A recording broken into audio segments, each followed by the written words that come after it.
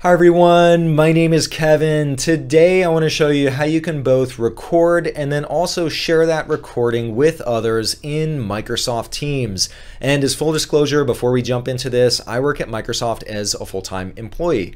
Why would you want to record a meeting in Microsoft Teams? Well, let's say you work at an office and maybe some critical attendees are unable to make the meeting. You could provide them with a recording after the fact. Or maybe you're a teacher and one of your students is absent and you want them to be able to catch up on your lecture.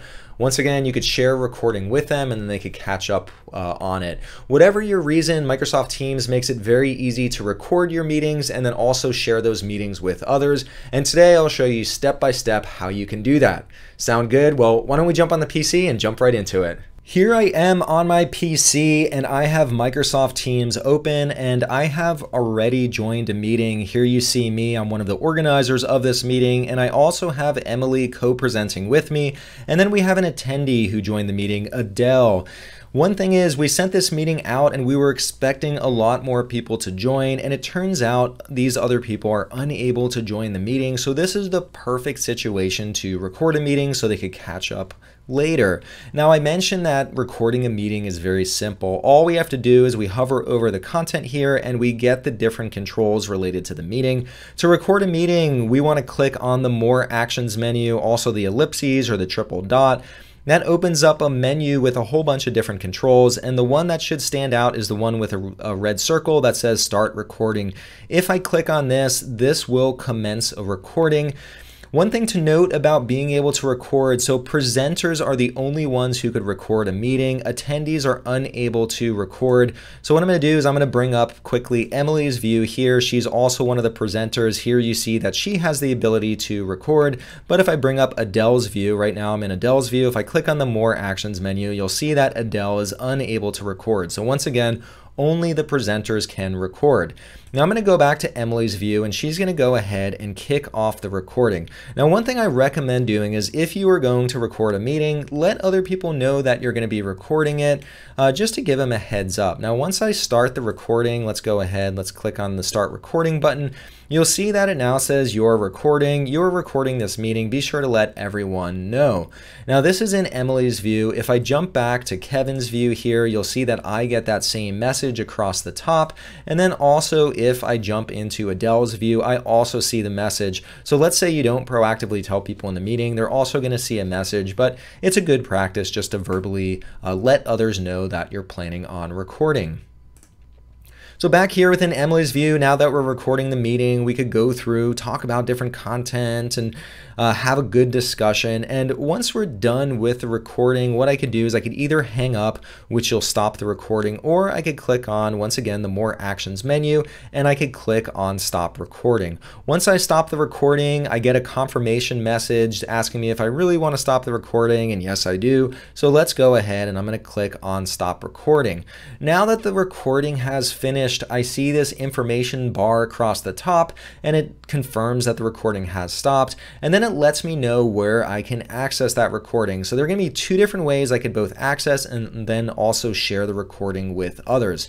So by far the easiest place to get back to the recording of this meeting is to click on the conversation or the meeting chat view. And then within here, I can see the recording. Now I've done a recording a few times here. And so for each recording that I've done, you'll see it posted here within the chat. And what I could do is if I click on the ellipses up here or the more options, I have a bunch of different options. I could open it in Microsoft Stream. I could go ahead and I could share it directly from here. I could get a link to the recording and I could share that via email uh, or any other way, text message, however I want to share that link, I can do that.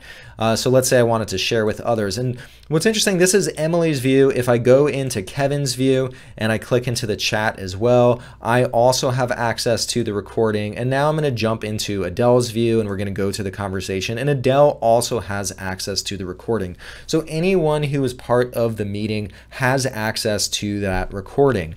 Now, one of the uh, things I want to show is if you want to go to Microsoft Stream, this is where the recording is saved. And so if I jump into Microsoft Stream, here you'll see the recording. I could go ahead and play the recording.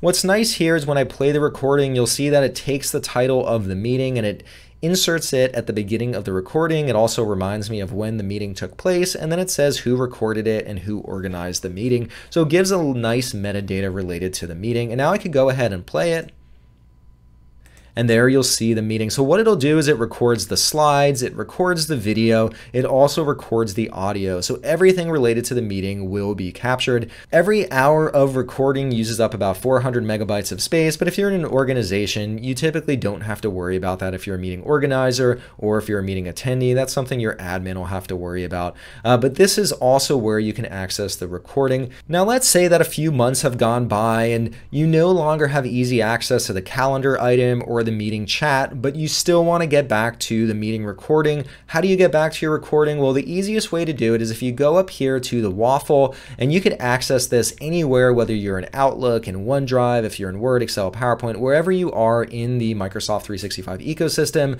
you can access the waffle menu. Now, what we're going to do is I'm going to click here on Office 365, and this opens up the office.com homepage. And what you could do is you'll see all your different app tiles at the top top, we want to navigate to Stream. Now, if you don't see Stream as part of this initial set here, what you can do is click on All Apps, and then you could also navigate to Stream here. Once you've navigated to Stream once, Office.com will automatically include that app tile on the homepage. So I'm going to click into Stream and this will launch the Microsoft Stream homepage. Once again, this is where all of your meeting recordings are saved and it looks like Stream automatically highlights my meeting recording here. But one way I can get back to my content, if I go up here across the top, I have these different pivots and if I click on the one that says My Content and I go down to the option that says Meetings, this is where all of my meeting recordings are saved. So I'm going to go ahead, let's click on that. And here you see my meeting recording big important meeting and it shows up right here on my list. Now this will only show up for the person who initiated the recording. It won't show up for the other attendees. The only way the other attendees could get back is either by going to the meeting chat or if someone who is part of the meeting shares it with them via some other mechanism, say like email or a Teams channel. Uh, but so the person who kicks off the recording can get back to it here in stream. All right, well, that was a really quick example of how you can record your meetings in Microsoft Teams, and not only how you can record it, but how you could get back to your recording after the fact, and also how you could share the recording with others. Anyway, if you now know how to record meetings, please give this video a thumbs up. If you want to see future videos like this, hit that subscribe button. That way you'll get a notification anytime new content like this comes out. And lastly, if you want to see me cover any other topics in the future, leave a comment down below. I read them them all and I'll add it to my list of videos to create. All right, well, thanks for tuning in and hope to see you next time. Bye.